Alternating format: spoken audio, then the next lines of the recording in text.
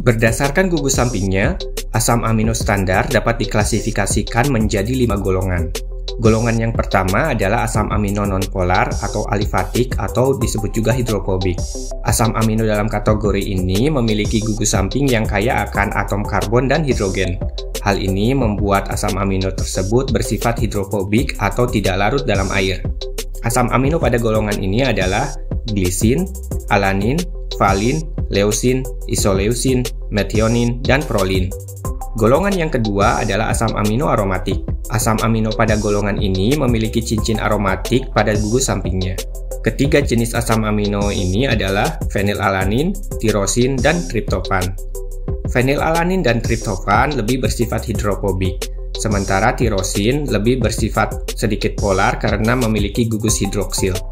Golongan yang ketiga adalah asam amino polar tidak bermuatan.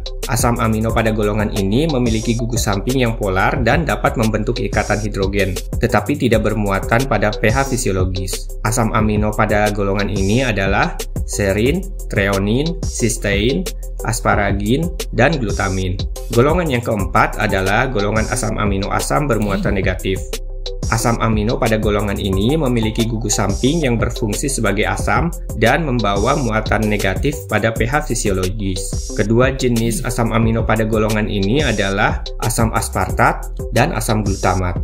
Golongan yang kelima adalah asam amino basa bermuatan positif. Asam amino pada golongan ini memiliki gugus samping yang berfungsi sebagai basa dan bermuatan positif pada pH fisiologis. Ketiga jenis asam amino pada golongan ini adalah lisin, arginin, dan histidin.